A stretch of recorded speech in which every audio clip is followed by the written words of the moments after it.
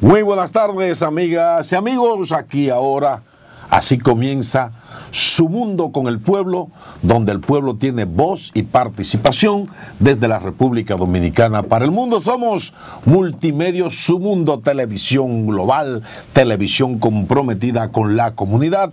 Y no olviden seguirnos en los canales 101 y en el 1101 HD de Claro, canal 81 de Altiz, canal 10 y 20 de Telecable Dominicano, 46 de Win Telecom, canal 647 del Fire TV Stick y en más de 70 sistemas de cable en las provincias del país para los Estados Unidos y todo el continente americano. Ahí estamos en el satélite UTEL y en todas las plataformas digitales disponibles y en nuestra página www.sumundotv.com. Aquí ahora, desde la República Dominicana para el mundo, televisión global, de las manos del doctor Leonardo Suero Señores, el agititi, hombre que pica y se extiende, hermano.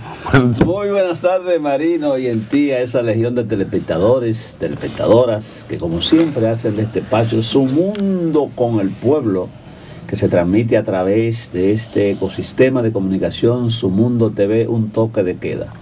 Como siempre con todos ustedes, vamos a tratar temas locales, temas internacionales. No sin antes recordarle que ustedes son la materia prima del espacio y que pueden llamar al 809-547-1158. Mándenos su video, mándenos su foto, haga su llamada, hágale saber a las autoridades que gobiernan el Estado cualquier situación anómala, anómala que acontezca en sus respectivas comunidades o si quieren felicitar a cualquier funcionario que lo esté haciendo bien. Marino. Así es, suero. Seguimos lamentando mucho la situación de pérdidas de vida sobre todo en niñez y en jóvenes, a causa del dengue, a causa del descuido y de la manera irresponsable en la que este gobierno ha asumido sus responsabilidades frente a un tema como este le dio de espalda y si la sociedad civil y todas las comunidades y los medios serios no empezamos a hacer hincapié en el olvido del gobierno, hoy quizá la cosa fuera aún peor, pero el gobierno de manera tardía, como en todo, de manera improvisada, ahora es que empezaron a hacer lo que debieron hacer meses atrás. Y no obstante eso, y lo más terrible, y me parece que es criminal, que es que este gobierno está ocultando las cifras de cuántos muertos van, cuántos son los infectados, cuál es la situación de los hospitales que han querido decirle a su al pueblo que no, que todo está calmado, pero han tenido que buscar 300 camas más porque los hospitales y su sistema está colapsado, las clínicas ya no aguantan más. Eh, han habido casos de niños que murieron porque no hubo manera de que pudieran ni siquiera internarlo. De manera que vemos cómo siguen alterando la cifra, amenazando a personal para que no den los datos que tienen que dar. Y eso es cuando usted está frente a un gobierno irresponsable, porque hay que ser perverso y criminal. Incluso decía el, ex, el ex ministro de Salud Pública, Cardenal Sánchez, que cifras de años anteriores cuando él era ministro de salud, fueron alteradas con tal de hacer aparecer que las cosas hoy son mejor que antes, porque lo que hay detrás de toda esta falta de información del gobierno es una campaña perversa y politiquera para hacer ver que el gobierno está bien, aunque el país esté muriendo, para hacer, para demostrar una especie de sensación social y de percepción de que las cosas van caminando bien, cuando usted sabe, y en su barrio y sus comunidades, que el sistema salud de la República Dominicana ha colapsado en las manos del presidente Luis Abinader. En el día de mañana, Marino, siguiendo con el tema, eh, hay un médico urólogo a quien le falleció su hija de 13 años, va a hacer una exhumación del cadáver. Oh, Dios. Con el propósito de someterlo a una autopsia rigurosa, ya que no se hizo, porque el ministro de Salud Pública, Daniel Rivera, dijo que la joven no, no había muerto por dengue.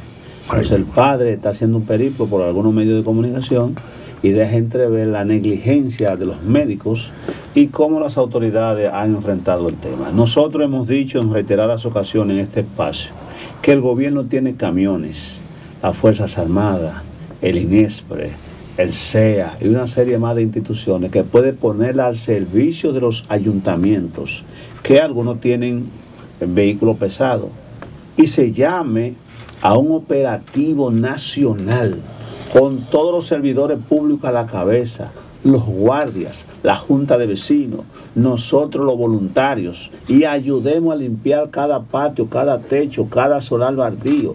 Porque si 10 millones de dominicanos le caemos encima y sacamos todas las chatarras, pues necesariamente estamos eliminando hospedero del mosquito Aegypti. Así y con toda esta porquería que se saque de trapatio, pues impedimos que el mosquito pueda eh, anidar ahí si el término puede utilizarse. Que como bien dice lo técnico, pues la hembra del mosquito Aegypti se da o pone los huevos en aguas claras y sombreadas. Pero ¿qué acontece?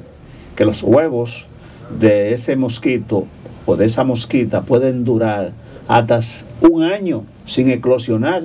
Sí, sí. Lo ponen en un lugar seco, no eclosionan o no nace el mosquito y cae cualquier gota de agua y ahí vuelve y sale Sí, el gusarapo que después con la metamorfosis se convierte en mosquito. Entonces, ¿qué es lo que se trata? Poner la capacidad y el ingenio del gobierno y de todos los dominicanos al servicio de este momento de la patria, con el propósito de ver cómo reducimos a cero la mortandad que hay, porque como bien tú señalas, Marino, las autoridades están maquillando las cifras de infectados del dengue.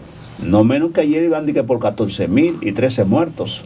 Pero yo me puse, por ejemplo, con la doctora Francis Santa María a contar, a hacer alguna especie de autoría, de auditoría visual. Y entre los dos sacamos seis muertos. Sí. De los 13 nosotros conocemos seis. Ay, mi pero madre. todo el mundo sabe que no son seis. No, no, no. que son varias decenas. Lo que pasa es que el gobierno, como está metido, Marino, en una ruta electoralista, quiere sacarle rédito político a todos los problemas del país, naturalmente minimizándolo. Porque no han dado pie con bola. ¿Usted ha visto algún brochure eh, en los periódicos de circulación nacional que se esté entregando en las guaguas, en el 9, en el metro? ¿Usted ha visto algún anuncio de eh, eh, tanque tapado, cloro untado, lo Ya. que fuese? Porque debe haber una campaña de concientización o de concienciación, como se dice.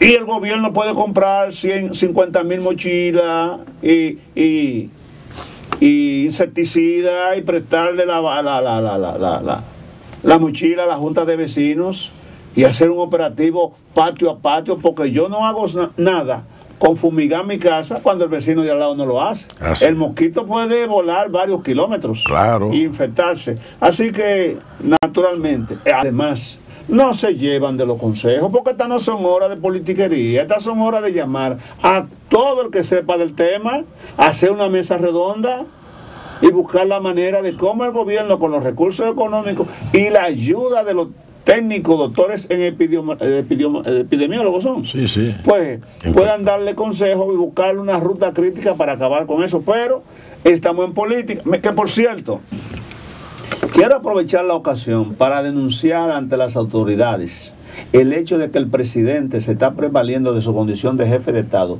sin ser médico y aparecen una gran cantidad de vallas en las carreteras, en todos los lugares, una profusa propaganda diciendo que, que con el presidente Luis Abinader tenemos un mejor sistema de salud. Hay una serie de vallas colocadas. Entonces el presidente se está prevaleciendo de su condición de jefe de Estado, utilizando los recursos públicos Sí, sí. para promocionarse. Ahí probablemente pueda aparecer el ministro de Salud, pero el presidente no es médico Sí, es una locura. y el propio Mario Lama, que, que también ha fracasado. Mira, eh, sumarme a la cadena Sí. de oración Ah, eso te iba a decir, de- a favor del doctor Senen Cava, Sí, que te enfermito. presidente ten cuidado del Colegio intensivo, de la República Dominicana, que me parece que sufrió un infarto, ¿no? Era- no, algo algo que tiene que ver con La el corazón, sí, algo la cardíaco.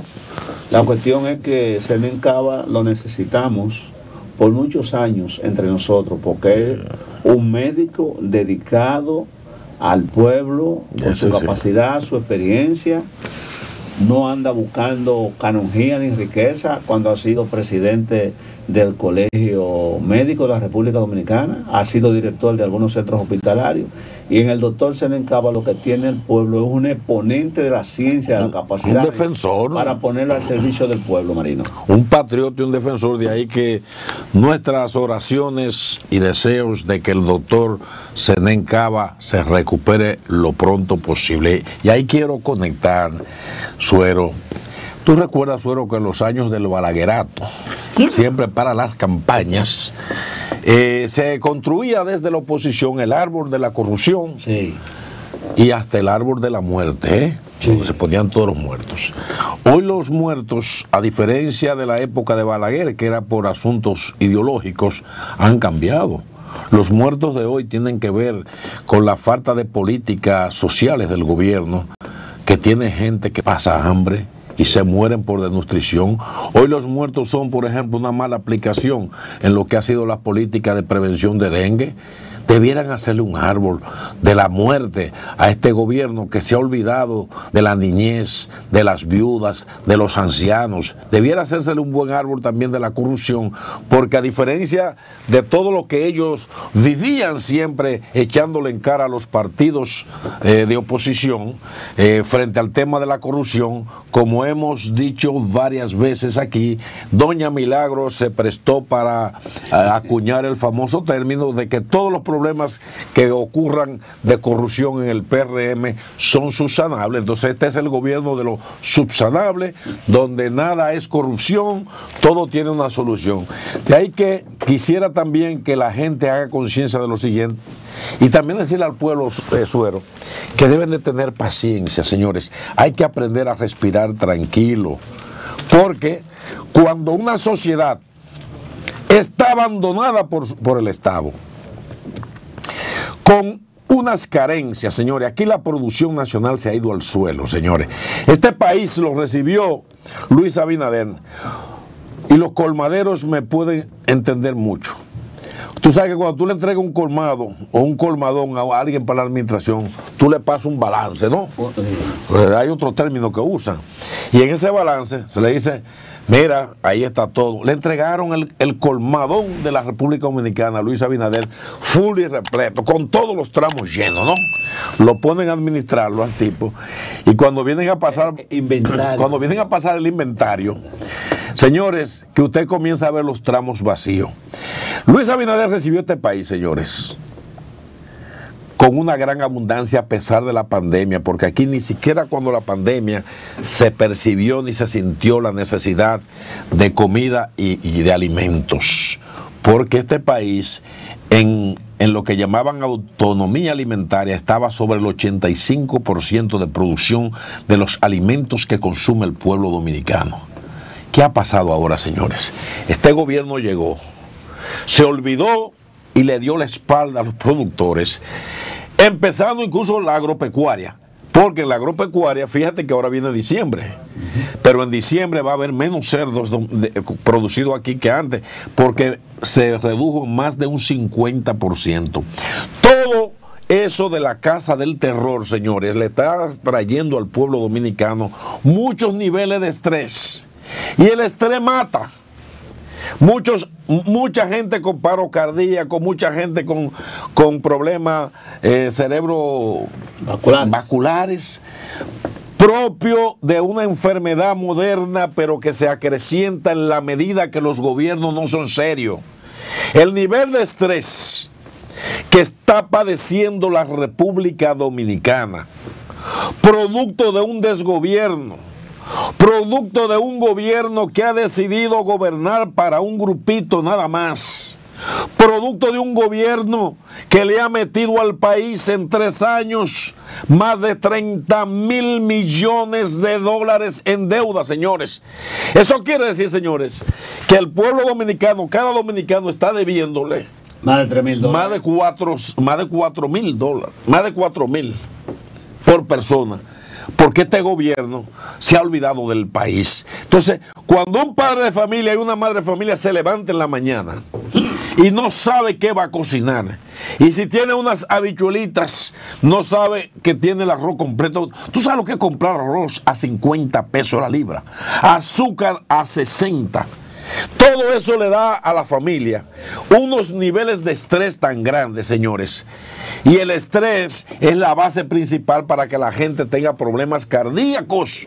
O sea, cada muerto en el país por estrés que viene empujado por una mala política de acción a favor del país, a favor de que el dominicano come en su casa, son muertos de este gobierno. Yo quiero conectarme contigo ahí mismo. Y el señor director, antes de que nos vayamos a la pausa, no tenga la gentileza de ponernos un videito. dice Catalina Enrique Tavares en Instagram, para que ustedes puedan observar cómo ha perdido el peso dominicano valor adquisitivo, cómo antes la gente con una papeleta de 50 pesos podía comprar varios plátanos, con una papeleta de 100 podía comprar par de libras de pollos. Oh, está ahí. Eh, se lo mandé al Néstor. Eh, le mandé tanto material que probablemente él no lo encuentre. Pero ahí está. Este es un billete de 50 pesos. ahí lo tenemos. Este billete. A ver si lo puede buscar el señor director para que lo vea. El de billete 50 pesos. Eh, empieza el billete 50 pesos. Ya casi ni un refresco. Porque, ¿qué acontece? El presupuesto nacional, presupuesto deficitario por demás, está hecho bajo eh, la égida de que el precio del dólar marino el año que viene va a estar a, a 60 con 30. Ay, santísimo. El pueblo dominicano que se lo está llevando Mágaro una bicicleta canato. Es una bicicleta canato. Significa que tendremos que buscar más pesos para comprar los productos que compramos el día de hoy. Una de las navidades más tristes que va a pasar este pueblo era de ahora, la navidad última del cambio. Porque, ¿qué acontece? Busqué 800 pesos para comprarse, para que se coma una librita de cerdo. Ah, claro que sí. Eh, no hay forma y manera que no baje de 500, 600 pesos un pollo asado en diciembre. Así es. Eh, usted sabrá cómo se van a disparar las legumbres, que muchos se usan eh, en, la Pascua. Los pasteles en hoja. Pastel en hoja, papa, zanahoria y demás legumbres que se utilizan, porque que está todo encarecido y el aparato productivo se ha ido a pico. Se ha ido a pico. Se ha ido a pico, entonces, eh, vamos a ver el, el videíto, por favor, de, de, la... De los 50 pesos. De, los 50, que arranca con los 50 pesos. Yo no sé si el señor director me está haciendo señal video, no vamos a la pausa. ¿Cuál de las dos, líder? ¿Eh? Parece que a la pausa y lo buscamos luego. Es un billete de 50 pesos. Con este billete, en la actualidad se compra un plátano y medio porque los plátanos están a 35 pesos. Antes se compraban 6, 7, 8, 9, depende de la temporada. Y ahora se compra plátano y medio. El pueblo siente que con este billete de 100 pesos, que antes compraba 3 libras de pollo, ahora son, solamente compra una libra y un cuarto de carne de pollo. La de 200 solamente da para un taxi a un estudiante. Este 500 que era antes muy deseado. Usted tiene que tener muchas de estas para pagar la luz. Y así usted me está hablando de otra lotería en este país.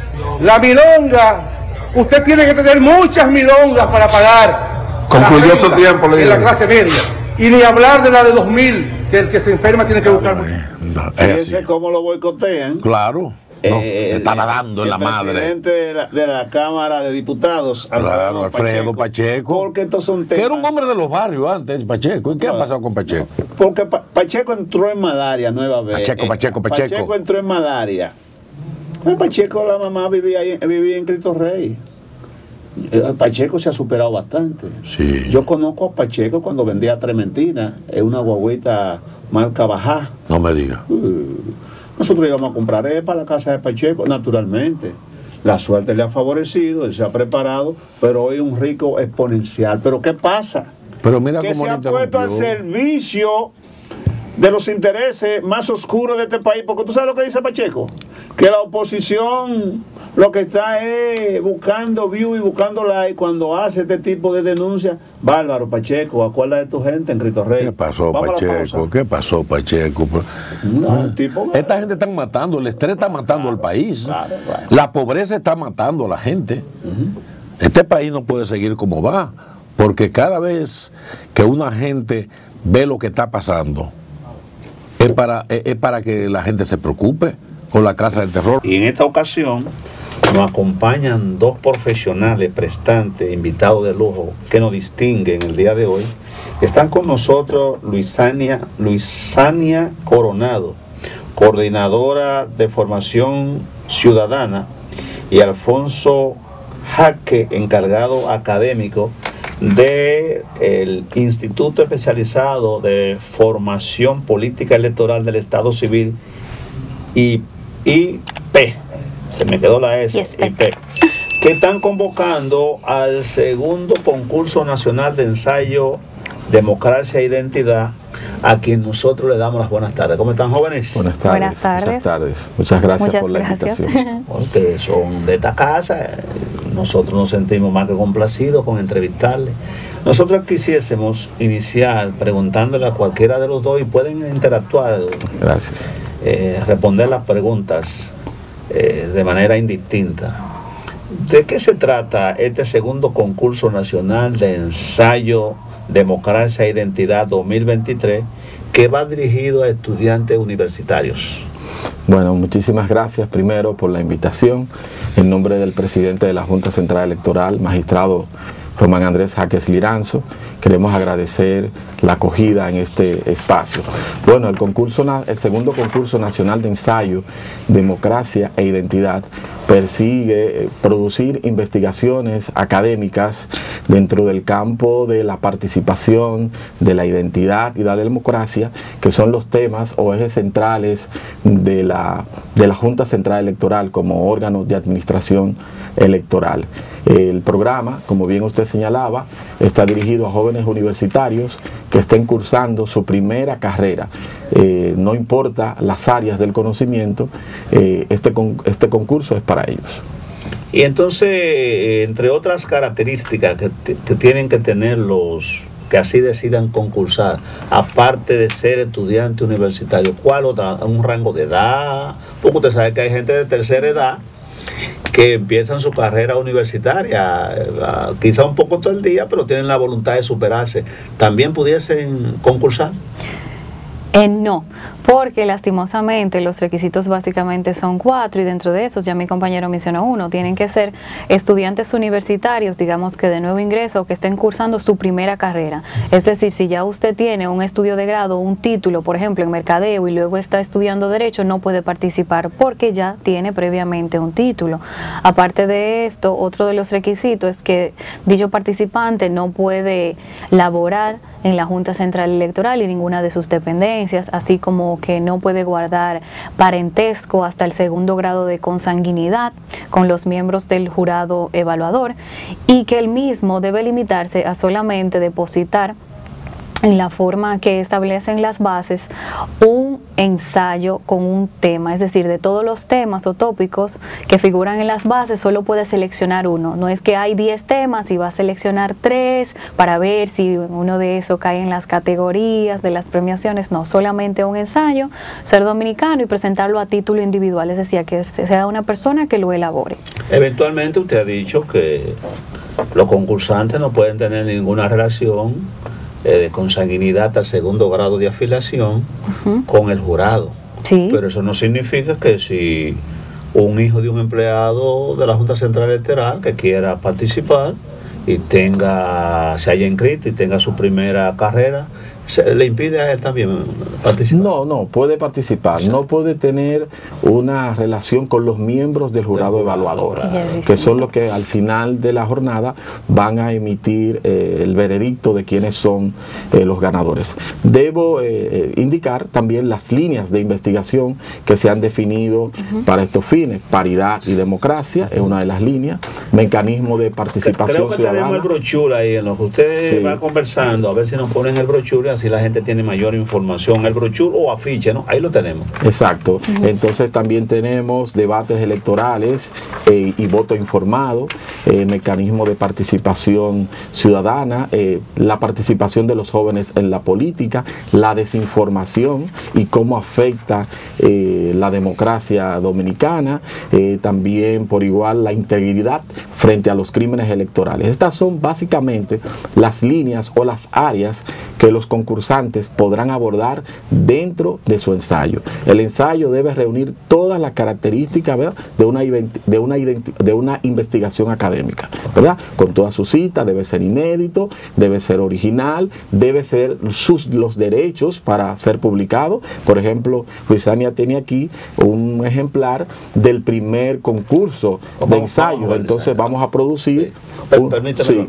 Director, enfoque aquí, por favor. Ese es el primer, el resultado del primer concurso, que fue dirigido a profesionales, Están publicados los, eh, ok, están publicados los trabajos, los trabajos. eh, todos, incluyendo los ganadores. Están los ganadores. Los ganadores. Los ganadores Ah, las menciones especiales están publicados. Y, tiene algún menudito esto. no, es totalmente, perdón. Menudito, eh, premiación, bueno, por de los supuesto, premios. por ah, bueno.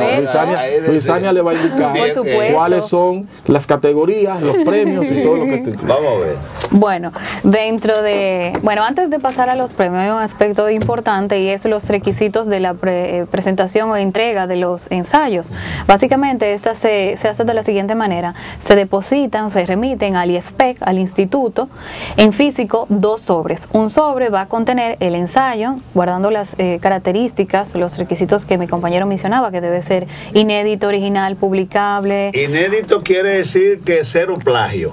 Pues no debe tener plagio ni No, haber sido publicado ni en haber sido ningún otro publicado. formato. Ustedes tienen, ustedes tienen Tenemos un, los mecanismos. un mecanismo Sí, claro de, que sí. de cubrir porque, los párrafos de plagiados. hecho, aparte de usted, en un primer sobre donde usted va a depositar ese ensayo, lo va a colocar impreso con todas las características que hemos mencionado y tipo de letra 2, interlineado sencillo, rubricado a puño y letra. También usted va a insertar una memoria USB con el ensayo en formato Word, lo que nos va a permitir con los programas eh, adecuados para los fines eh, determinar si qué cantidad de plagio, etcétera, y todo eso. Entonces, ese es el primer sobre, el ensayo impreso.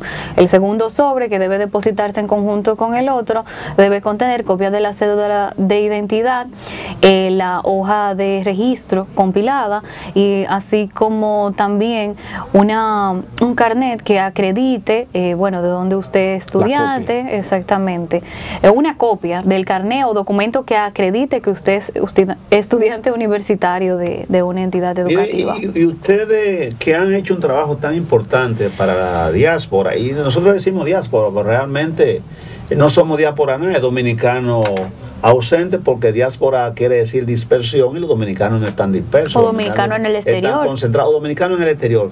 Los muchachones que estudian allá de hijos de dominicanos, eh, ¿tienen la oportunidad de participar también desde allá? Bueno, las bases del concurso establecen que deben ser dominicanos, ¿verdad?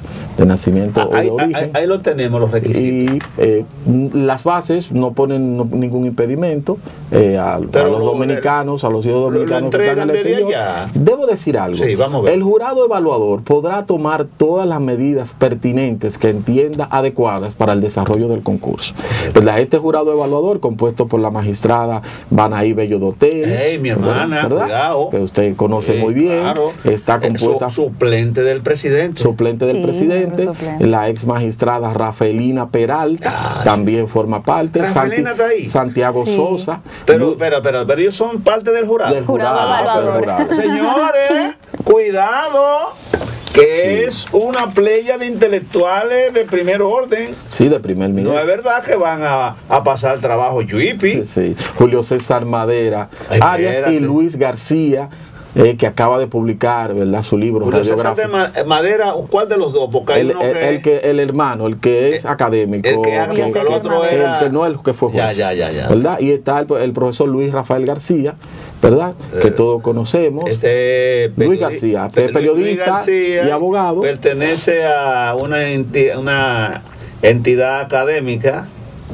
eh, que se llama, bueno, entidad académica que dirige el magistrado Lino, Lino, Exacto, que ellos que están agrupados, que son especialistas en temas electorales. Yo pertenezco a esa entidad, pero he hecho he hecho, he escapado como Melquiades por, por los problemas de tipo de horario. Entonces, esas cinco personas tienen, ¿verdad?, de alto perfil, de alto, ¿verdad?, de altas capacidades conocidas por todo el pueblo dominicano, son los responsables de administrar el concurso nacional de ensayo, acompañado por la Dirección de Investigación del IESPEC. Entonces, ellos tienen la responsabilidad de emitir cualquier resolución, cualquier elemento que entiendan necesario con el desarrollo del ¿Qué busca la Junta con este tipo de concurso? ¿Cuál es el propósito? Bueno, promover la, investigación, el conocimiento científico, eh, incrementar el acervo eh, literario dominicano, así como promover eh, la inclusión, la estimular a los estudiantes universitarios a que se interesen por este, tipo de, este estos temas relativos a la democracia, la identidad, la paridad, etcétera. Hay que decir que entre los palmares positivos que tiene Román Jaque Liranzo, como presidente de la Junta Central Electoral y el pleno que le acompaña es haber logrado la elevación de la EFEC, antes se llamaba EFE, a Instituto Superior de Formación Política y del Estado Civil. Ahora se ha pasado a un organismo de educación superior, que va a impartir cuáles materias, líder. Bueno, eh, gracias por la pregunta. Eh, sí, estamos celebrando, estamos de fiesta porque el Honorable Consejo Nacional de Educación Superior, Ciencia y Tecnología, mediante la resolución 15-2023, elevó a la antigua Escuela Nacional de Formación Electoral y del Estado Civil a Instituto Especializado Superior en formación política electoral y del Estado civil. Ahora tenemos eh, la responsabilidad de poder emitir títulos propios, ¿verdad? Profesionales de grado, de grado y de posgrado. Tenemos aprobado por el, por el Honorable Consejo de Educación Superior la maestría en Derecho de las Personas, ¿verdad? Vinculados a todo el tema de la identidad, ¿verdad? Y el registro civil. También tenemos aprobada una especialidad en Administración Electoral, ¿verdad? dirigida a los miembros de juntas electorales, partidos políticos y ciudadanos interesados en aprender sobre la administración electoral. También se nos aprobaron dos licenciaturas, el único órgano eh, electoral en el mundo que tiene un instituto superior especializado que podrá dar licenciaturas en administración electoral y formación política y licenciatura en en administración del registro civil. ¿Para, ¿para qué tiempo o periodo del año que viene estará ya la ISPE? Bueno, el ISPE ya está operando. Listo para impartir esa materia. Todo, eh, digo, esa carrera. todo está listo, ya todo es cuestión, en el caso del posgrado, que será lo que empezará eh, primero, por razones de logística. Eh, solo esperamos concluir eh, eh, el proceso electoral y estaremos convocando a los profesionales del país al desarrollo de esta maestría en Derecho de las Personas. Es simplemente abrir el proceso de admisión. Todo está listo, todo está, todo está en queue, como, como se dice popularmente, para iniciar en cualquier momento. Bisaña se nos quedó ahorita. No, los premios, no, lo tengo pendiente. Dos cosas que no se pueden quedar que la gente tenga el interés de, pero vamos premio, pero un incentivo de un menudito. La motivación, la motivación, claro ¿Por dónde andamos con eso? Andamos bien. Dígame a ver, para que la gente se motive. Entonces, eh, van a haber cinco categorías de premiaciones, ¿verdad que sí? Es importante resaltar que cada una de esas categorías le será otorgado una beca para eh, cursar el diplomado especializado en administración electoral, así como también que su eh, ensayo será publicado y compendido en un documento como este, que es el compendio de ensayos ganadores del concurso anterior. Pero, por ejemplo, para el primer lugar hay un incentivo económico de 150 mil pesos. Para el segundo lugar, 100 mil pesos. Para el tercer lugar, 75 mil pesos. Para el cuarto lugar, de 50 mil pesos. Y para el quinto y último lugar, 25 mil pesos.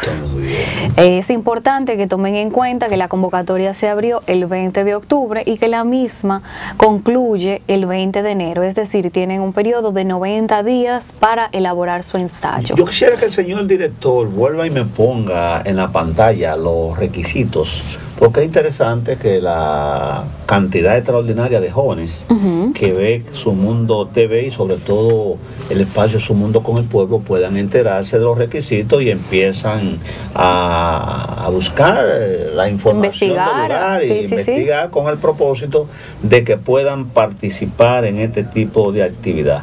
¿Qué otro curso, aparte de maestría, diplomado, está en capacidad de impartir en este momento la ISPE?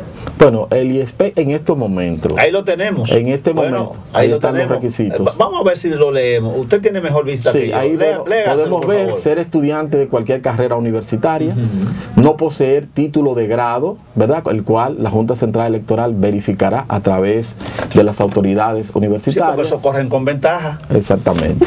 Eh, no ser empleado de la Junta eh, Central Electoral o alguna de sus dependencias y presentar un solo ensayo. No pueden presentar más de un ensayo porque serán descalificados. Ahí está, Luisania, eh, los, los Exactamente, los requerimientos de lo cual hablamos anteriormente, debe elaborarse bajo el género del ensayo académico, ser original, inédito, publicable, tener una extensión mínima de 10 páginas, máximo de 20, eh, colocar notas al pie de página y citas de acuerdo al manual APA en su séptima edición, entregar en una memoria USB en formato Word, etcétera. Usted sabe que a mí me tocó precisamente hacer una maestría cuando era EFE. con doble titularidad doble titulación. De, la, Universidad de Granada, y de la propia Pucamaima estimado y querido amigo y, y amiga, a mí me, me, aplicaron esa... El método APA. Ese método de APA. y entonces lo hacía un señor al cual nosotros debemos agradecerle mucho, que a eh, Michelin, ese hombre era un cuchillo. Ese es el método. E, e, ese hombre hasta por un punto te mandaba a rehacer un párrafo. Yo estuve, y entonces, pero oye lo que me tocó a mí. A mí me tocó Muquien Sanben. Ah, la doctora Muquien Sanben. Me tocó Muquien Sanben como coordinadora de. Asesora. asesora. Oye, yo, no, yo no vuelvo más, hombre, yo voy a dejar esto. Yo voy a dejar esto. No es verdad que yo voy a dar pie con bola. Pero los consejos de un Felipe Carvajal, que lo hicimos junto ahí, otros importantes compañeros de estudio pues salí a camino y logré graduar. Bueno, por aquí se ven los resultados en sus análisis, en sus comentarios y la orientación que usted hace. Eh, la Junta Central Electoral tuvo a bien, y para mí que es uno de los mejores anuncios que yo he visto, eh, dirigido a, a motivar a los ciudadanos que viven en el extranjero a registrarse eh, para que puedan votar. Empadronarse. empadronarse. ¿De quién fue la idea de ese anuncio, si ustedes tienen la información? Bueno, nuestro equipo de, de la Dirección de Comunicaciones, encabezada por por la comunicadora Suedi, ¿verdad? Y todo su equipo, su equipo técnico y una buena agencia de, creatividad, ¿verdad? Produjeron este interesantísimo eh, anuncio, ¿verdad? Que muestra eh, la picardía, las condiciones de los dominicanos en el exterior e invitándolos a empadronarse para que puedan participar, ¿verdad? En el proceso electoral venidero, ¿verdad? Como una forma de retribuir todo el apoyo económico que que nos envían a nosotros los dominicanos. De las cosas que me llamaron la atención de, ese anuncio tan bien logrado es que en, en, el tiro de cámara, cuando habla la joven, al fondo se ven dos banderitas dominicanas y eso habla bien del amor a la patria, de respeto a nuestro símbolo y de nuestra identidad, que no se pierde, aunque usted vea que los muchachos no hablen mucho inglés, pero los padres de allá le hacen saber que son dominicanos y figura, por ejemplo, como Carl Town. Usted tiene ahí a peloteros de las condiciones de estrella de grandes ligas. Como Alex Rodríguez, como Alex Rodríguez. Alex Rodríguez, que nacieron en los el propio Manny, Manny Ramírez. Manny Ramírez, que nacieron en los Estados Unidos, pero nunca han dejado de reconocer que son dominicanos. Tenemos a Soel Machado. A Soel Saldaña.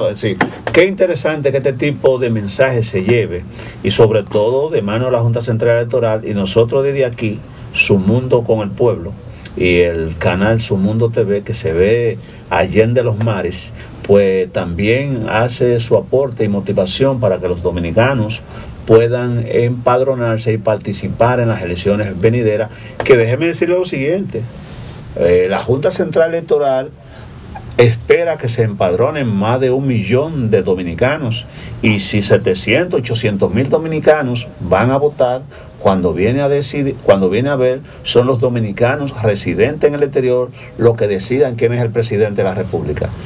En el caso específico de los dirigentes políticos del patio, porque yo sé que la ISP también forma y prepara a los inspectores, a los empleados de la Junta. En el caso de los dirigentes políticos, ¿tienen algún curso definido para que el delegado, el dirigente político se forme en cuestiones de Estado y cuando le toque ser electo a un puesto público tengan la formación del lugar para servirle y aplicar políticas públicas que beneficien a sus comunidades? Sí, claro. El, el IESPED eh, permanentemente desarrolla programas eh, destinados a la capacitación de los miembros de los partidos y agrupaciones políticas. Fíjense, actualmente nosotros tenemos una maestría en alta gerencia de partidos políticos, dirigida eh, precisamente a los líderes de los partidos políticos. Esta maestría se está desarrollando en colaboración con una universidad hermana, la Universidad Católica Santo Domingo, y está destinado a precisamente a los líderes políticos, así como también seminarios, ¿verdad? Y congresos que desarrolla a través de la dirección de partidos políticos con el apoyo académico del IESPED, permanentemente lo estamos desarrollando. Pero fíjese, que se quiero aprovechar también para indicar que con la Universidad Autónoma de Santo Domingo nosotros estamos desarrollando cinco programas. De ellos, tres maestrías, tres grupos de maestrías en administración, en, en derecho de familia y dos grupos de maestría en administración electoral. Por igual estamos desarrollando con la Pontificia Universidad Católica Madre y Maestra eh, dos grupos de maestría en análisis político electoral. ¿Qué queremos decir con esto? Que permanentemente el IESPED está pensando en la formación de los líderes políticos, de nuestro personal y de todos los dominicanos que se interesen por estos temas. Supongo yo. Totalmente gratis. Claro, supongo yo que después de las elecciones eh, municipales que van a ser el 18 de febrero, pues van a salir electos una gran cantidad de alcaldes y directores de distritos municipales que van a manejar recursos y van a manejar programas.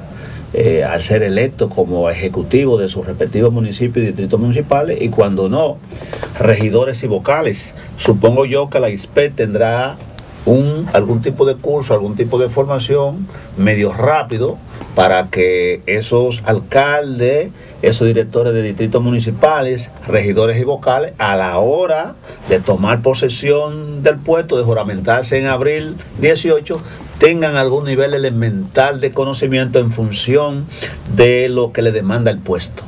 Mire, eh, el IESPED permanentemente funciona también a nivel de demandas y requerimientos que los propios partidos políticos eh, nos hacen. ¿Qué quiero decirle con esto? Que siempre estaremos abiertos, siempre estamos prestos a recibir cualquier tipo de necesidad de formación que tengan los partidos políticos para en conjunto con las escuelas de los partidos políticos poder diseñar y construir programas que vayan en beneficio del liderazgo político nacional. Y a la mujer, eh, a la mujer eh, comunitaria, eh, de junta de vecinos, las mujeres políticas la también. la lideresa política. política. ¿Qué le tiene el ISPE?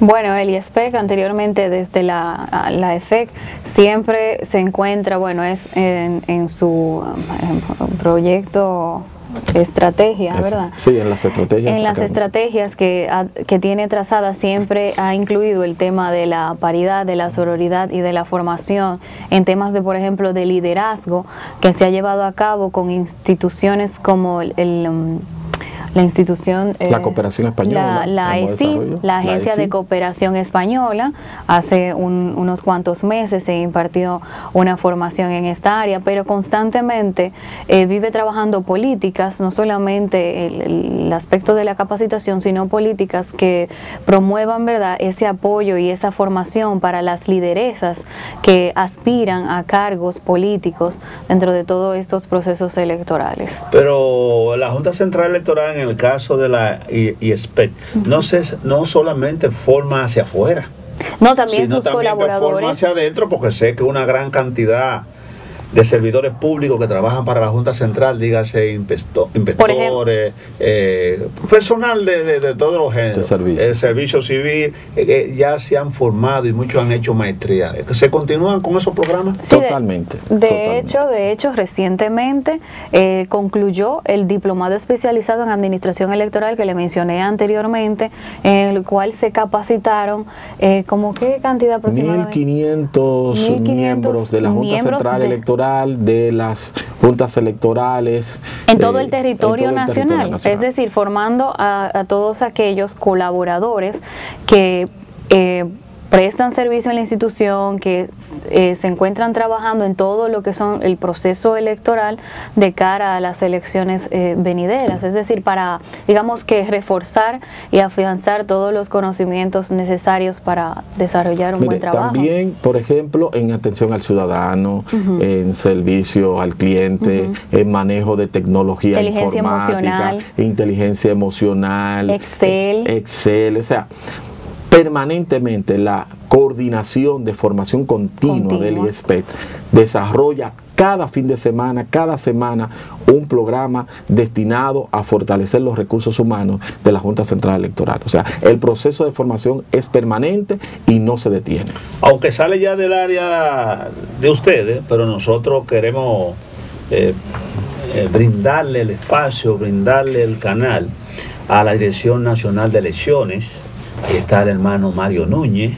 está Castro, y a otros eh, departamentos la dirección de partidos políticos partido político, cuando ya estemos entrando en caja con relación a lo que son los procesos electorales para que pasen por aquí nos traigan cualquier tipo de información con la finalidad de que el ciudadano se entere y esté al día a día de los pasos que tiene que dar, verificarse, eh, los cursos de formación para los delegados políticos, e inspecciones, etcétera. Sería interesante que lo tengamos por acá y nosotros quisiéramos que ustedes fuesen portavoz a los fines de que ese personal en su momento pase por aquí. Yo me siento más que comprometido con la ISPEC porque hay un hermano y amigo que está dirigiendo el Rector, el rector Felipe Carvajal de los Santos. Mi hermano que hemos compartido ¿Dónde hemos estado Felipe y yo? Felipe y yo hemos estado en Chile, hemos estado en Barcelona, hemos estado en Francia. En miles de batallas. Hemos estado en muchísimos sitios, porque formamos parte de un organismo que no viene a cuenta mencionarlo,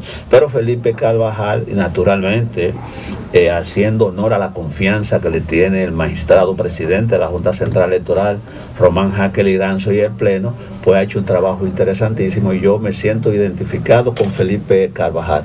Unas últimas palabras, un mensaje final para los estudiantes, empleados de la Junta y el público en términos general de ambos. Bueno, primero agradecerle la, la oportunidad de nosotros dirigirnos a toda la nación y a la diáspora. Eh, exhortarle a los jóvenes universitarios a participar en este segundo concurso nacional de ensayo, identidad y, democracia, que la Junta Central Electoral con él promueve la participación y las investigaciones científicas en temas de democracia, identidad y participación. Así que los esperamos con sus ensayos, eh, tienen 90 días para poder elaborarlo, tienen hasta el 20 de enero para poder presentar su propuesta. Bueno, nada, incentivarles a que eh, traten de hacer un buen trabajo participando en el concurso, que hay una, una gran cantidad de temas, es decir, que para los gustos, los colores hay una gran cantidad de temas. Y no solo eso, sino aparte de que van a contribuir en temas de vital importancia para la sociedad dominicana, eh, también hay atractivos premios, es decir, que por partida doble usted aprende, investiga, hace un aporte. 150 papeles, no cae mal. Oh, en después de diciembre. Mire. No, ahí tienen los chelitos, ahí tienen los chelitos para el regalo de los enamorados. Claro, Tienen los chelitos de las vacaciones de Semana Pues bien, señores, estuvimos conversando con dos eh, profesionales de FUSTE que son servidores públicos que trabajan para la Junta Central Electoral y funcionarios eh, del Instituto Especializado Superior de Formación Política Electoral y de Estado Civil y ESPET. Y son ellos Luis Tania Coronado, coordinadora de formación ciudadana, y Alfonso Jaque, encargado de, académico. a quienes le damos las gracias por haber participado en este su espacio, su mundo con el pueblo, y lo esperamos en cualquier otro momento. Doctor Leonardo Suero, muy buena entrevista con esta gente de la Junta Central Electoral. En estos momentos tenemos una nueva entrevista, un gran invitado, doctor. En nuestra segunda entrevista central del programa Su Mundo con el Pueblo, nosotros vamos a conversar con, con el honorable diputado Sócrates Pérez Lorenzo del Partido de la, de la Liberación Dominicana. Él es diputado por el municipio de Santo Domingo Norte, yo diría que por la provincia, es miembro de la Comisión eh, permanente de Seguridad Social y miembro de la Comisión Permanente de, Presupuesto. También es miembro de la Comisión Permanente de Medio Ambiente y Recursos Naturales, a quien le damos las buenas tardes en su programa Su Mundo con el Pueblo. Comandante Sócrates. Bueno, buenas tardes. Eh, feliz de estar aquí con ustedes para compartir un ratico, ¿verdad? Y ver si, detallamos algunas de, las noticias que están eh, quemando el día de hoy aquí a las órdenes de ustedes. Gracias. Eh, vimos eh, recientemente, diputado Sócrates, a los diputados de la oposición retirarse de la comisión de Hacienda, aunque usted no pertenece a esa comisión, pero naturalmente de una forma u otra se solidariza con sus compañeros. En este caso, se retiraron de esa comisión los diputados del PLD, del PRD y la Fuerza del Pueblo, porque no están contestos, porque se le quería meter un ladrillo por debajo de la mesa en esa comisión para aprobar mil millones de dólares más. Usted no puede dar detalle al respecto, diputado Sócrates. Vamos a decirle algo sobre eso, sí. Efectivamente, la, la bancada del PLD, del PRD y de la Fuerza del Pueblo eh, se retiraron de la comisión de Hacienda. Como ustedes saben, eh, en el Congreso hay diferentes comisiones. En los diferentes ministerios que hay en el, Poder Legislativo, Ejecutivo, así hay en, en, el Congreso esas diferentes comisiones. Entonces la Comisión de Hacienda, que es la que tiene que ver con préstamos, todo lo que tiene que ver con, con impuestos, tiene primero que estudiarse y, y aprobarse en la Comisión de Hacienda. Ellos se abocaban ahora lamentablemente tenían en agenda más de mil millones de dólares en préstamos. Pero no solamente eso, también tenían en agenda una tasa cero para traer azúcar. Y no solamente azúcar, sino que se le iba a dar una potestad al presidente que cualquier problema de, desabastecimiento que hubiera en el país, que él pudiera por un decreto traer cualquier producto eh, con, con, tasa cero. Y nosotros entendíamos, o entendió la bancada, o las bancadas de los diferentes partidos de oposición, entendimos que eso era injusto y podía eh, eh, hacerle daño al país en el futuro.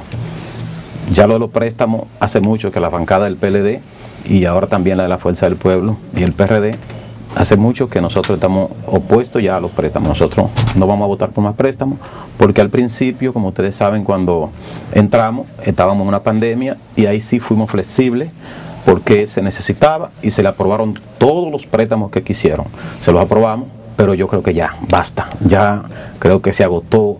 Eh, la capacidad de endeudamiento que tiene el país, creo que está agotada ya. Diputado, estamos hablando de que este gobierno en tres años se ha metido en una suma astronómica de préstamos a costilla de este país de más de 30 mil millones de dólares, que es fácil decirlo, pero cuando tú lo traduces a peso, y traduces la realidad, ahora bien, ustedes como diputados no están en condición de pedirle al presidente que le explique al país en qué ha gastado este presidente 30 mil millones de dólares, que no lo vemos, no lo vemos. Mira, eh, como dicen los economistas, aunque yo no lo sea, que el tomar prestado no es malo, siempre y cuando la calidad del gasto vaya a ser buena. O sea, que tú tomar el dinero para prestado para hacer unas buenas inversiones que retornen. Pero en el caso eh, de ahora, sea, es el presidente que más ha endeudado el país en tan poco tiempo. Y cuando tú buscas y vas a ver en dónde se ha invertido el dinero, ves que las inversiones están por el suelo. Y cuando se investiga bien, incluso aquí se ha tomado dinero para tenerlo guardado. que eso es, en mi campo le llamaban el negocio del capaperro, que cobraba eh, tres pesos para escapar el perro, pero daba cinco para que se lo amarren. Entonces el, gobierno ha tomado un dinero prestado a un interés para ponerlo en, en el banco donde le van a pagar un interés menor porque no, tenido, no han tenido la capacidad de ese dinero agarrar e invertirlo en obras de infraestructura que vayan a traer beneficio al país, ya sea por los empleos y, a largo, largo plazo también. Entonces, pero no es desde ahora, ahora la comisión eh, se hace, nos retiramos de la comisión, pero hace mucho que nosotros no estamos aprobando préstamos. Ellos tienen en agenda en la Comisión de Hacienda había más de mil millones de dólares, pero en agenda, en agenda en el Pleno, hay más de 600 millones de dólares en, agenda que no lo han podido aprobar porque gracias a Dios ellos no han podido formar el quórum ellos. Porque ellos tienen, tienen su mayoría. Si ellos convocan todos sus, sus legisladores, tienen la mayoría para aprobar los préstamos porque los préstamos solamente se aprueban con mayoría simple y tienen si ellos lo logran cuando ellos logran convocar sus legisladoras ¿qué mayoría simple? la mitad hay que llegar somos 190 diputados. Primero para hacer el quórum tú tienes que tener 96 mínimo que eso es la mitad más uno. Si tú tienes 96 mínimo ya tú hiciste el quórum ya ahí cuando van a votación si no llegaste a 96 votos entre positivo y negativo entre sí y no no hay votación es nula. Ahora, si tú llegaste a 96 votos entre sí y no, tú lo puedes contar. Ahora, ¿qué es lo que hacemos? Nosotros, los legisladores de oposición, que lo estamos haciendo hace mucho, si vemos que ellos no tienen 96 legisladores ahí sentados, no abstenemos. Entonces, al abstenernos de votar, ellos no logran el quórum. Y ahí entonces la votación se cae y se queda sobre la mesa y se queda sobre la mesa hasta que ellos puedan convocar sus legisladores y tener ellos solo la mitad más una. Pero mire, como bloque de diputados del partido que fuere, ¿tienen facultad? ¿La ley hay algún mecanismo legal para que puedan llamar al presidente? para que el presidente le dé explicación al país sobre eso. Incluso se está hablando que este gobierno, solo en publicidad de él, en ese narcisismo adolescente que tiene el presidente de presentarse, él se gusta a sí mismo, se están gastando más de 8 mil millones de pesos mensuales. Entonces, los diputados, ¿no hay algún mecanismo legal para decirle al presidente que le diga al país por qué y de dónde están saliendo todo ese dinero? Eh, ahí es mi pregunta. Claro que hay. Explíquenos. Claro que hay. La constitución es clara en eso. El Congreso es el primer poder del Estado. Y cualquiera de las dos cámaras puede invitar no solamente al presidente, ya el presidente también es una votación muy especial. Ahora, para cualquier funcionario, por decir, eh, obra pública, que, tiene que invertir muchos recursos en, obra, se le puede llamar al Congreso en cualquier momento a explicar en dónde se ha invertido. El ministro de Hacienda se puede llamar, cualquier ministro se puede llamar para que explique y convenza a todos los legisladores en qué se han invertido X cantidad de dinero que haya tomado. Ahora, ¿qué es lo que pasa? Que lamentablemente en este país donde hay mucha politiquería, según la constitución, los diputados o cualquier, los legisladores, también los senadores, son electos por un partido. Pero tan pronto son electos, la constitución le da la potestad de dentro del hemiciclo votar como él quiera. Pero lamentablemente, muchas veces, o la mayoría de veces, los partidos bajan su línea. Y algunos la respetan, otros no. Ahora, para nosotros lograr que un ministro vaya haya a rendir un informe. Es muy difícil porque casi siempre los diputados del gobierno lo protegen. Mm. Mira, en estos días nosotros, incluso yo mismo, como secretario del bloque del PLD, eh, tomé la participación para solicitar la interpelación del ministro de Salud Pública. Y entonces los legisladores del gobierno coinciden, dicen, sí, él tiene razón, es verdad, porque el dengue está acabando, eh, están muchos niños están muriendo, entendemos que están ocultando las cifras, porque tú ves que en la clínica y la gente están diciendo, mira que se murió uno allí, que si cuando tú cuentas, está muy por encima que la cifra que está diciendo el gobierno. Ahora bien, ellos están de acuerdo de que sí, pero entonces votaron que no a la interpelación. Yo le dije, bueno, pero yo estoy seguro que alguno de ustedes quisiera hacer lo que estoy yo haciendo. Entonces permitan que él venga aquí y nos explique qué es lo que está pasando, porque son los pobres dominicanos que están pagando con la vida de sus hijos el, mal manejo de, él a lo que es el, dengue o el descuido porque fue un descuido que pasó con, lo, con, el dengue, porque sabemos que es una enfermedad que todos los años entra aquí, que a partir de mayo ya tenemos que estar el Ministerio de Salud Pública con los alcaldes buscando la dechatarrización en todos los barrios y, y concientizando, la, concientizando la, la, la, población para que sepan que no pueden almacenar el agua, que en, lo, en los patios lo limpien. No lo hicieron. Ahora, los pobres dominicanos están pagando. Porque el dengue ataca y eh, quizás uno no lo entiende, pero sí a los pobres que más le da dengue. Sí. ¿Por qué? Porque en los barrios pobres es que almacenan el agua en, un, en una barrica, en un tanque. Sí. En los ricos no, tienen su, su, su agua que le llega por la, por la, llave. Entonces, como los pobres no tienen, esa, eh, no, no, tienen ese beneficio, tienen que almacenar agua en un tanque o en un galón. Y entonces ahí el mosquito pone el huevo y se reproduce. Y por eso le produce el dengue a los pobres. Diputado Sócrates Pérez, usted me ha dejado de una pieza a mí.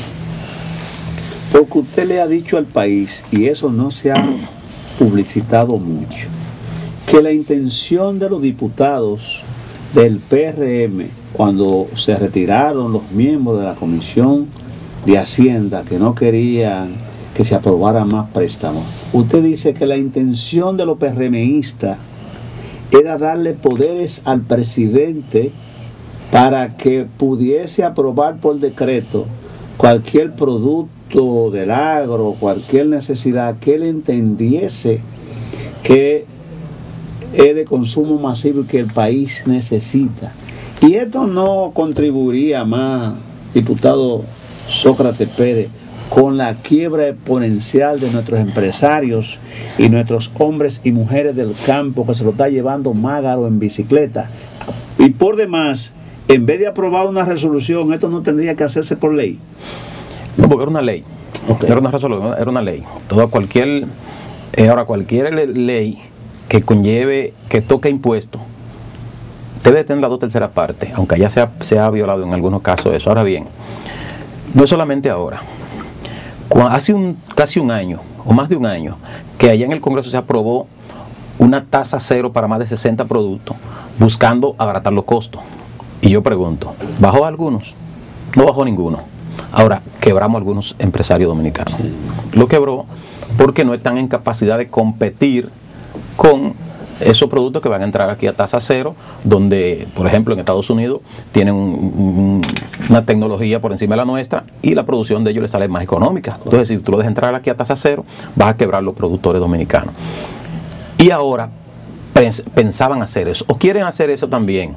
Y yo diría, bueno, en un momento dado lo pudiéramos hacer, pero tú aprobar hacia futuro para que si en el futuro viene esto, no, vamos a esperar, porque si tú le apruebas, cuando viene a ver eh, este gobierno lo que va a hacer es que le gusta a ellos hacer negocio con el pueblo. Me explico. Bueno, vamos a, a tratar de que este producto, este, este producto desaparezca para entonces nosotros agarrar y buscar unos cuantos empresarios y darle el permiso de importación para que traigan productos aquí y se hagan ricos. Eso lo hemos visto y más en este gobierno. Eh, esos, productos que, ese, esos productos que se aprobaron allá a tasa cero era por seis meses. ¿Y cuánto van? Y yo recuerdo que dije allá, es por seis meses. ¿Cuántos eh, leyes se han aprobado aquí transitorias que todavía están? Y tenemos una, el anticipo. Sí. El anticipo se aprobó, era transitorio. ¿Y cuántos mm. años tenemos? Donde eh, es, ese anticipo y le mete un pie en el cuello a los pequeños empresarios. Eso, diputado. El hecho que se apruebe una ley por seis meses y todo el mundo se haga loco y continúe volado. Porque no, se supone que a los seis meses tiene que perimir. Sí, ten, ten, debiera de perimir o debiera de volver al Congreso de nuevo, pero no lo han hecho. Pero el anticipo fue así. El anticipo se aprobó aquí en un momento dado que era por un, por un año. ¿Y qué tiempo tenemos con el anticipo? Y el anticipo, les digo yo, que tengo personas que tienen pequeñitas empresas, que eso, ese anticipo le pone un pie en el cuello y lo ahoga. Eso es pagar impuestos por adelantado. sobre unos sí, sí. beneficios que usted no tiene. Uno, unos beneficios ficticios. Mira, yo mismo tenía una empresita una vez y cuando yo voy me dicen, no, que tú tienes, tú pagaste este año 350 mil pesos de impuestos. Entonces, el año que viene tú vas a pagar eso mismo. Entonces, te lo a ir, tú lo vas a ir pagando todos los meses. En cuota. En cuota. Si a fin de año yo no reporté esa cantidad, no me devuelven el que, que me cobraron no, de más. Ahí. Pero si, si reporté más, entonces tengo que pagarlo. O sea, es un, pro, un, un problema que a los pequeños empresarios lo ahoga. Pero hay alguna manera, Sócrates, de que desde la Cámara de Diputados pero hasta de los propios partidos del sistema, darle seguimiento al gobierno en el gasto. Por ejemplo, ese llamado eh, préstamos eh, a tasa cero, hemos visto y se ha contactado los pueblos que a compañeritos del partido es a lo que se le ha distribuido a dos o tres. Entonces, ha sido una política que el gobierno ha estado utilizando diciendo que está aplicando tasa cero, pero cuando tú vas al Banco Agrícola resulta que no hay para las asociaciones, para los productores. Entonces, alguien tiene que dolerle el país para poder en evidencia a un gobierno abusador, a un gobierno criminal, a un gobierno mentiroso. Y yo creo que esa sería la labor, digamos, de la oposición en las diferentes cámaras. Sí, es así. Y tú preguntaste ahorita también que si el, presidente, sí, el presidente puede ser interpelado en el Congreso, pero necesita una votación calificada, la tercera parte de la matrícula que el, no, no la tenemos, la oposición no la tiene. ¿Entiendes? Si, la oposición tuviera eso, tú te aseguro que el gobierno se pudiera controlar un poco más. Pero lamentablemente no la tenemos. Ahora, eso de los préstamos de tasa cero. Cuando el Banco Agrícola iba a hacer esos préstamos de tasa cero, cuando la gente fue al banco, ya se había agotado. Porque ya lo habían, eran préstamos que, que vinieron con nombre y apellido, para donde quién iban. Y cada, sí, y cada quien. Pero los pequeños empresarios que lo necesitaban, quizá para, para coger un chin de oxígeno, no, lamentablemente no lo pudieron tomar. Simplemente fue para, para noticias, para hacer pantalla, para la prensa. Diputado Sócrates Pérez, del Partido de la Liberación Dominicana. Ustedes entonces van a tener que retirarse, y digo ustedes, su compañero de partido, de esas comisiones de finanzas, porque el presupuesto que se sometió a la consideración de ustedes, los legisladores, tanto a la Cámara de Diputados como del Senado, es un presupuesto que lleva un monto de un billón 340 mil millones de pesos. Pero para financiar ese presupuesto deficitario, que significa mayor pobreza e inflación para el país, habrá que buscar 47 préstamos por la cantidad de 7 mil millones de dólares adicionales. Eso quiere decir que sumado a los casi 30 mil millones que ha tomado este gobierno, sumándole los 7 llegaremos prácticamente al umbral de 37 mil millones de pesos. ¿De, dónde, dólares. de dólares. ¿De dónde tiene la República Dominicana recursos para amortizar deuda y capital? Mira, este país es un país que en los últimos años, en todo lo que este hemisferio, ha sido el país que más ha crecido. No ahora. Incluso ahora el crecimiento eh, quedó por debajo de lo que se pensaba. Pero este es el país que más ha crecido. En los gobiernos, en los gobiernos del PLD, en los últimos gobiernos del PLD, el país tuvo un crecimiento constante. Ahora bien, no es que tenemos un, no es solamente que tenemos, vamos a tener un presupuesto muy deficitario, es que el déficit va a ser más alto. Póngase a pensar, nosotros tenemos, tenemos un, nuestro segundo socio comercial, ¿cuál es? El que está al lado. Yo digo que es el primero, porque gastamos menos para hacer el, negocio. Y el presidente, ¿qué acaba de hacer? No sé si fue que lo asesoraron mal o por bravuconería de él. Simuló una guerra con Haití, buscando la parte republicana de los de lo, de lo dominicanos, emotiva de los dominicanos, ¿entiendes? Buscando votos, simula una guerra con Haití y comete el error de cerrar la frontera para el negocio. ¿Cuántos empresarios han quebrado? Pequeños empresarios quebramos. Y el negocio de Haití era 90 a 10. Nosotros nos beneficiamos un 90% y un 10. Ahora mira cómo están. Fuera de que porque estaban haciendo el canal, que cerró la frontera, llevó los guardias para allá y tanqueta y todo. Ellos no, pararon el canal, ¿verdad? Y ahora la, la abre. Pero los haitianos, el orgullo se les fue aquí arriba y cerraron la de ellos. Están pasando hambre mejor. Pero ¿cuántos dominicanos pequeños y medianos empresarios han quebrado. Y ahora yo oigo, ayer creo que fue el, de Agricultura, que dice que le van a comprar las gallinas ponedoras a 50 pesos para sacrificarla. Sí. Oye, lo que van a hacer, acabar ya de, de, de, de defratar el, el- el comercio de ellos. En vez, de- en vez- al pueblo que te en estamos vez muriendo de hambre. En vez de, no, la va a comprar Inespre a 50 pesos para vendérsela a la gente, quizás 100 o a 75, algo así. Pero van a quebrar el negocio de la gallina ponedora. Ma- Van a matar la gallina de los huevos de oro. Yo digo, en vez del gobierno estar buscándole negocio con otro país, porque tú fuiste que acabaste de quebrar el negocio, de tumbar el negocio, romperle el negocio con Haití, que era un negocio 90 a 10, señores. Los haitianos compraban lo que nosotros les lleváramos porque ellos no producen. Y ahora tan, prefieren pasar hambre por el orgullo. Pero Abinader le levantó el orgullo a ellos por estar, con bravo- con- por estar con una bravuconería innecesaria, señores. ¿Quién le dijo a ustedes que nosotros hemos estado en guerra con Haití nunca? Hace mucho que nosotros hicimos la guerra con Haití, lo vencimos y ya ellos no están en capacidad de, de- de ir a una guerra con nosotros. Nosotros lo que tenemos es que venderle a ellos que ellos no producen. Y entonces, este lo quiebra ese negocio. Se va a cumplir, diputado Sócrates Pérez, la premonición que hizo Hipólito Mejía en su momento. Que para ver un huevo usted va a tener que ponerlo. Porque si se matan 700 y tantas mil gallinas ponedoras, se va a borrar del territorio nacional las gallinas y entonces ¿cuándo va, cuánto va a costar un huevo.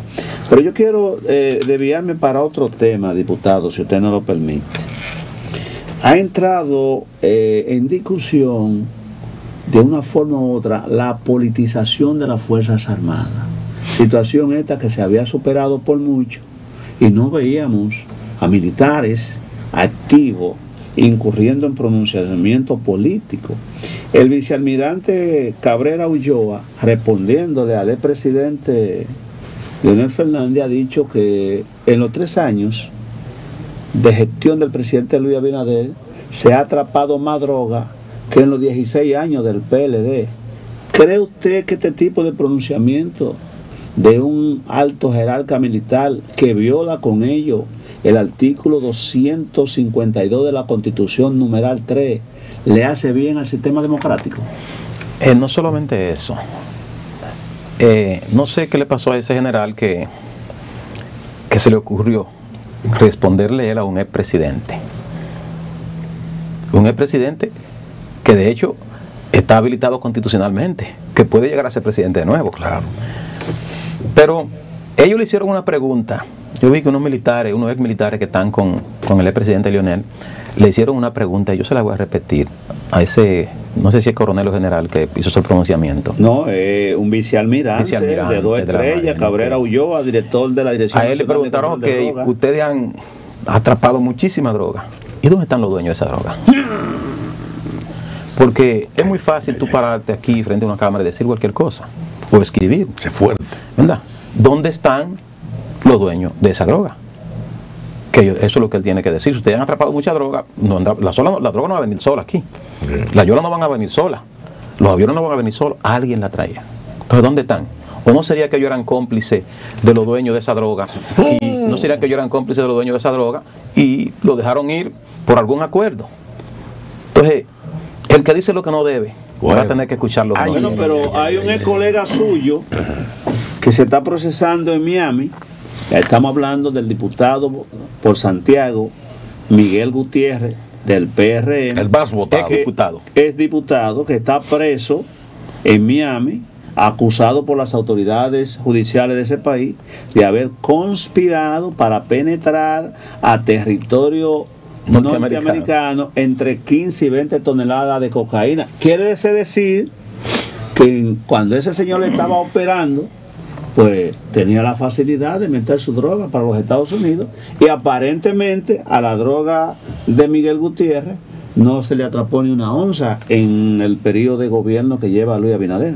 No solamente esa.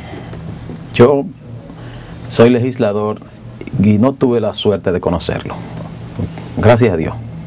No tuve la suerte de conocer a, a Miguel Gutiérrez. Pero mira, esto es un chisme más amplio, porque Miguel Gutiérrez se convierte en el diputado más votado a nivel nacional. Ahora, antes de él ser candidato a diputado por el PRM, él se acercó al PLD para que el PLD lo postule como candidato eh, a diputado. Pues Sí. a primicia, Sí, él se puso- y la primera que dijo, si lo meten me voy, fue, fue Alejandrina, una mujer honorable. Ahora bien, díganme usted que el partido que lo postuló no sabía que él se dedicaba, que él se dedicaba. Claro. Lo que pasa que una cosa es lo que decimos cuando estamos fuera y una cosa es lo que cuando estamos dentro. Tú, la formación que le dan a cada ser humano desde su, desde su hogar tiene que ver mucho con su actuación ya cuando sea adulto. Este gobierno que hoy tenemos no fue solamente con el dinero de Gutiérrez que subió. Fueron muchas personas más. ¿Son ilegítimos esa gente? Son, fueron muchas personas, no, son ilegítimos desde arriba hasta abajo. Ay. Ay, ay, ay. Porque ese señor que está preso en Miami, el dinero que él utilizó para ser el diputado más votado, esos votos solamente le valían a él. Esos votos también le servían al presidente y al senador. Entonces eso es más amplio.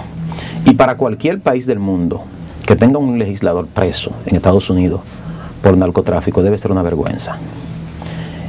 Y no es solamente que esté preso, es que cuando Estados Unidos te agarra y te mete la chirola, es porque ya tú estás investigado. Claro. Ahí no inventan. No.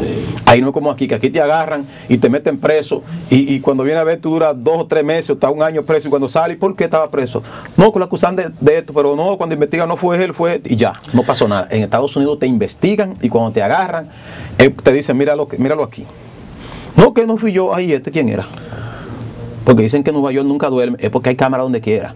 Diputado. Entonces él, ese mismo eh, es, es legislador, porque lamentablemente, vamos a decir lamentablemente, porque el Congreso fue que debió de destituirlo. Claro. Y él fue que renunció en estos días. Mira, diputado, si en economía la máxima de Adam Smith, que dice eh, la ley de la oferta y la demanda, ¿no? Nos la explicaron desde que comenzábamos nuestro curso.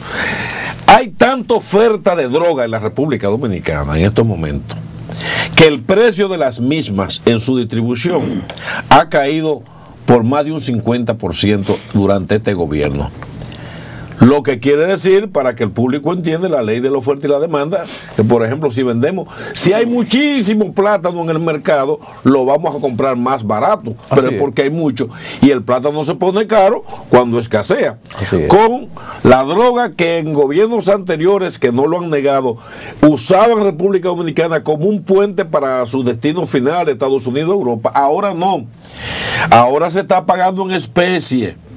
Y se está quedando una cantidad enorme de droga en el país que la están consumiendo nuestros jóvenes en los barrios. Entonces, ¿cómo apelar entonces al propio gobierno para que enfrente de manera más seria esto? Porque ahora están también mareando al país, mareando al pueblo, diciendo que ellos están atrapando más. Es que hay demasiado droga. Es que está, se ha duplicado la droga en el país. ¿Qué le Mira, parece? Eh, hay un, un adagio muy común de los campos.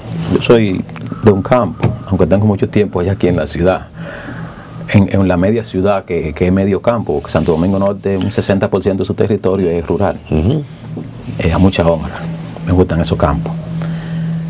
Decía en, en esos campos que son jocosidades que se escuchan eh, eh, a diario.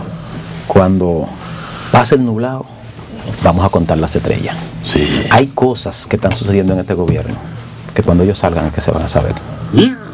Porque es un país gobernista. ¿Entiendes?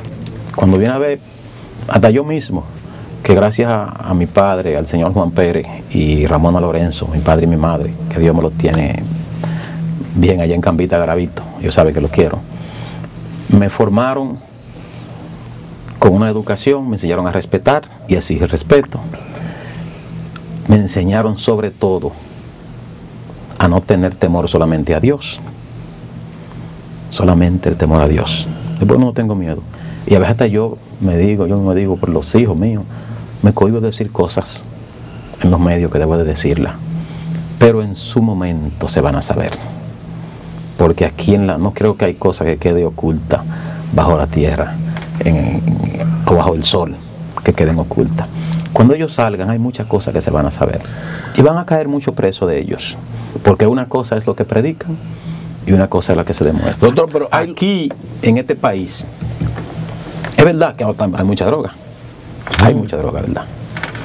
Pero usted verá en el futuro cuáles eran los cómplices de que esa droga se quedara aquí.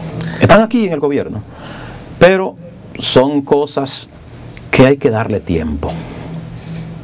Porque no se puede ser desesperado, desesperarse. Dios, que es Dios, para hacer el mundo, duró seis días. Si él hubiera querido lo hacer un día todo, ¿verdad? Pero hizo, duró seis días y entonces el séptimo descansó. Miren, el canon católico de lo que es la liturgia, en la liturgia se peca, he pecado mucho de pensamiento, palabra, obra y omisión. Y omisión.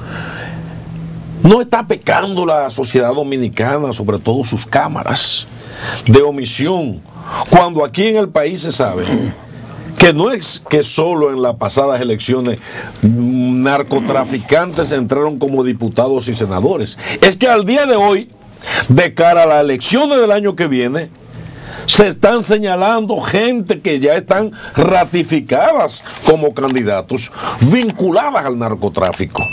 Por lo que no podemos sorprendernos, diputados, de que aquí se siga acuñando el término a nivel internacional de que estamos frente a un narcoestado. Mira, eh, me voy un ching atrás. Yo recuerdo en el 2010 que habían algunos candidatos, algunas personas que estaban aspirando por el PLD.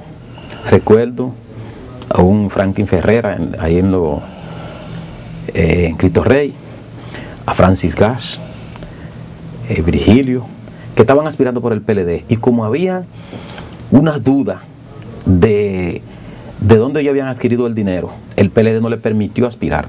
El PLD lo cerró.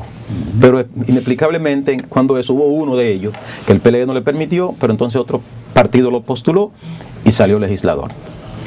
Ahora en estas elecciones, el PRM se desata diciendo que, que, ellos van a mandar un listado con todos sus candidatos a Estados Unidos a la DEA para que sean depurados de allá. Y yo le pregunto, ¿dónde está esa información? ¿Dónde está esa depuración? ¿Llegó aquí? Porque supongo yo que si yo le, le preguntan algo a los norteamericanos, le van a decir, mire, este, este, este, este, este. porque eso investigan bien. Claro que Pero sí. ¿dónde están esas investigaciones? Una sola no le permitieron la inscripción. Y era porque era muy Ah, de- demasiado obvio. No, lo que pasa es que esa información, diputado, la mandaron a buscar en una caravana de babosa y todavía no han pasado el malecón. no han cruzado. Pero la, pobla- la- el pueblo dominicano está aquí, conoce, porque yo hablé ahorita de la formación que, que le damos a nuestros hijos desde el hogar. Eso tiene un valor incalculable para su, el trayecto de su vida. Lamentablemente la población vota por esas personas, sabiendo quiénes son. Diputado Sócrates Pérez, ¿se va a volver a presentar como diputado? ¿Ha sido reservado? ¿Ganó las encuestas? Denos detalles al respecto, por favor. Eh, no, el PLD no reservó eh, ninguno de los legisladores, tuvimos que ir a encuesta todos. Pero yo entiendo que poniéndonos a ir a encuesta nos puso cómodo, porque los diputados en ejercicio, si, si trabajan, tienen más posibilidades de los nuevos que van a entrar. ¿Fue favorecido Nosotros, usted? sí, gracias a Dios nosotros quedamos en la encuesta Bien. y ya somos candidatos. Vamos a tratar de, de que el pueblo de Santo. Domingo Norte, que el municipio de Santo Domingo Norte, nos ¿Va para vuelva- su segundo periodo o tercero? no, este va a ser mi segundo periodo. A ver si el pueblo nos elige para seguir representándole. Brevemente, experiencia positiva que usted le pueda contar en 30 segundos, ya que estamos llegando al final del espacio, al pueblo dominicano, sobre todo a los municipios de Santo Domingo Norte, que usted haya sacado de la Cámara de Diputados. Bueno, lo primero es que al, al municipio de Santo Domingo Norte damos la oportunidad de representarlo. Me han dado esta oportunidad. Yo, no, yo creo que antes de yo ser legislador no había hecho tanta visita a los medios como hago ahora. A ellos me dieron la oportunidad y nosotros allá cuando la prensa se nos acercó comenzamos a darle declaraciones, ellos lo, lo vieron como aceptable y me han dado mucha oportunidad de yo ir a los medios a denunciar cosas y, y sobre todo denunciar cosas que lo hemos utilizado. Pero lo más importante es que me han permitido representarlo. Qué bueno. Y eso es un honor. Gracias, diputado. Bueno, señores, estuvimos conversando con el diputado Sócrates Pérez del Partido de la Liberación Dominicana por el municipio de Santo Domingo Norte, a quien le damos las buenas tardes y combinarlo a que nos acompañe en cualquier otro momento aquí a este espacio Su Mundo con el Pueblo. Marino.